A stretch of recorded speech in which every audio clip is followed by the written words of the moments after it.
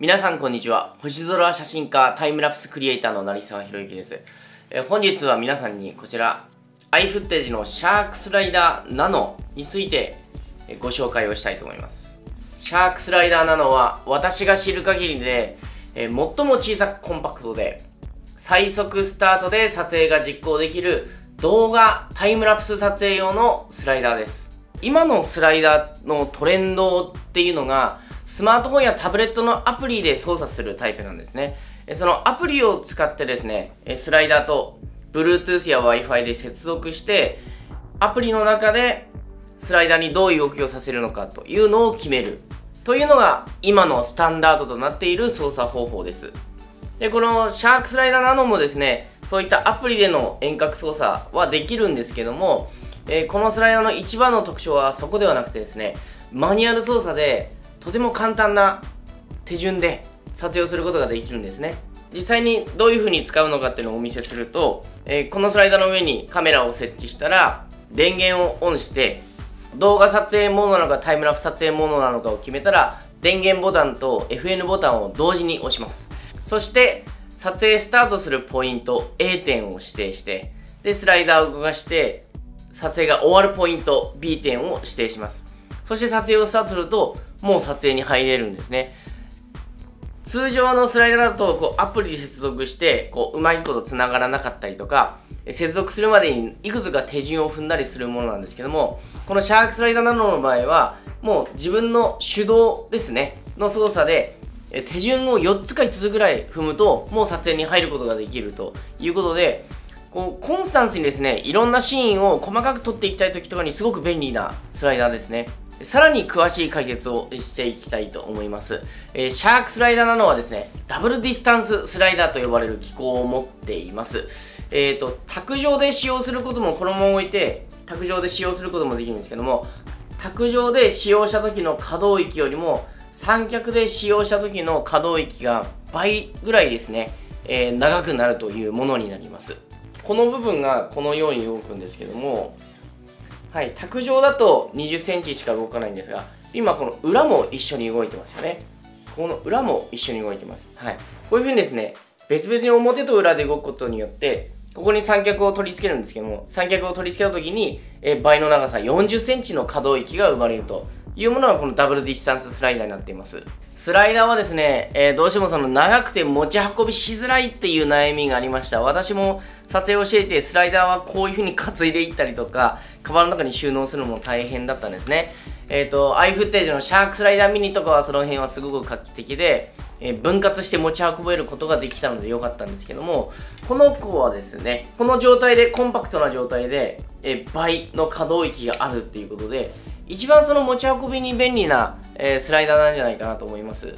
また、えー、シャークスライダーナノはですね、これ 2in1 とも言うべき機構を持ってまして、使用できるモーションがですね、この横のレールモーションだけじゃなくて、この部分がですね、回転するんですね。つまり、レールモーションプラスパンモーションを加えることが可能になってます。ティルトモーション、縦の動きはできないんですけども、これだけ薄くコンパクトなのにもかかわらずレールモーションとパンモーションができるというのは多分業界内でもこれだけなんじゃないかなと私の知る限りではこれだけだと思います。通常のスライダーの場合は、えー、レールとパンを使用同時に使用するときはですね後でパン用のモーターっていうのを付け加えることになります。その分ですね、えー、モーターの分大きくかさばるようになりますしえ操作も、え、レールとパンと別々に設定したりとか別々に Wi-Fi Bluetooth で接続しなきゃいけなかったりっていうことで結構その辺はめんどくさいところも多かったんですけどもこのシャークスライダーナノの場合はですねすでにこの状態でレールとパンが実装されています。おそらく最も薄い部類の二軸コンパクトスライダーになると思います。私が知る限りではダブルディスタンススライダーのタイプで二軸モーションができるのはこのシャークスライダーナノだけだと思いますダブルディスタンススライダーの大きな特徴は本体の長さよりも可動域が広いということにプラスして前進モーションをかけた時にレールが映り込みにくいという特徴があります通常のスライダーだと長さが変わらないので、えー、前進ですね、モーションをかけた時にどうしてもスライダー本体が画面の下の方に移ってしまうというのがあったんですが、このシャークスライダーナノの場合はそれがございません。基本的にはですね、A 点、B 点を設置して、えー、撮影スタートしたら、電動でこのシャークスライダーなのが動いてくれるんですけども、そうではなくて、完全に手動でこう動かすっていうこともできるようにはなっています。他のスライダーと同じように、えスマートフォンやタブレットのアプリで制御をプログラミングしてコントロールするっていうことも可能なんですけども、手動で撮影設定をするっていうのがあまりにも簡単で時間がかからないので、あえてそのアプリとか手動で撮、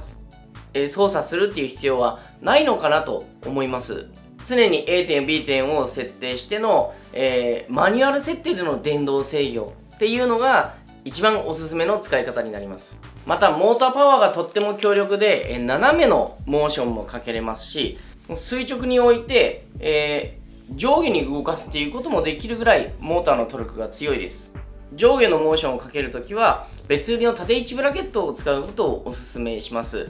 また C スターズ Q1 というですねクイックリリースプレートがあるんですけどもそれを使うとえ、横、縦っていうのが一瞬で切り替えができるので、設置の時に便利なんでおすすめです。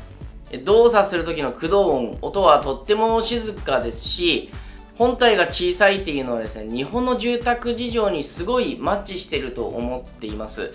いろんなとこで場所を取らずにですね、簡単に設置することができるので、まあ、細かい商品撮影を動画で、え、行う時なのは、トントン拍子で撮影が進みます。私が得意としている星空などのですね、ネイチャータイムラプスにおいてもですね、非常に効果があって、撮影に至るまでの設置が本当に簡単なんですね。で、こういうスライダー使いたいけども、設置がめんどくさいっていう方は結構いらっしゃると思うんですよ。撮影に入るまでが随分時間がかかるというのがあると思うんですけど、このスライダーの場合は本当にポンポンポンポン撮影していくことができるので、そういったストレスからも解放される、えー、素敵なスライダーになっています。本当に撮影に至るまでの設置が短時間で済むので、そのめんどくささが半減して、まあ、どんどんスライダーを使っていこうというですね、クリエイティブな気持ちに、えー、なれるのがとても気に入っています。このシャークスライダーなのはですね、初めてスライダーを使いたいという方にはですね、特にお勧めしたいと思います。皆さんもこのスライダーを使ってですね、自分の動画撮影やタイムラプス撮影にクリエイティブなモーションを加えてみてください。